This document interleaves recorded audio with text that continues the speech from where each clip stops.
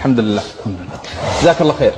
Bagaimana cara sujud syukur? Jawabannya para ulama khilaf tentang cara sujud syukur apakah disyaratkan dalam sujud syukur seperti sujud dalam salat yaitu harus berwudu, harus menghadap kiblat ya ataukah tidak disyaratkan. Pendapat yang lebih rajih dan ini dipilih oleh banyak ulama seperti Syaukani kemudian para ulama asirin seperti Syekh bin Bas, Al-Utsaimin, Abdul Karim Al-Khudair dan yang lainnya bahwasanya sujud syukur tidak disyaratkan seperti apa yang disyaratkan dalam salat. Kenapa? Eh, salat paling minimal satu rakaat. Adapun sujud tidak sampai satu rakaat, hanya sujud saja. Maka dia tidak dihitung sebagai sholat. Karenanya ya tidak disyaratkan toharoh. Kemudian tidak disyaratkan menutup aurat. Maksudnya bagaimana? Maksudnya ibu-ibu misalnya dapat berita ternyata anaknya lulus atau bagaimana dia tidak dalam kondisi berjilbab, pakai baju misalnya tidak pakai kerudung, dia boleh sujud syukur. Allahu Akbar sujud syukur kemudian dia baca doa sujud biasa subhana rabbil ala wa bihamdi subhana rabbil ala wa bihamdi dan tidak harus disyaratkan apa yang disyaratkan dalam salat. Bahkan ulama mengatakan saat ini tidak menghadap kiblat, tidak sempat lihat kiblat mana dia sujud tidak jadi masalah. Berbeda dengan salat. Kenapa? Karena sujud tersebut bukan salat, dia ibadah tersendiri. Jadi tidak disyaratkan padanya apa yang disyaratkan dalam salat. Allah alam.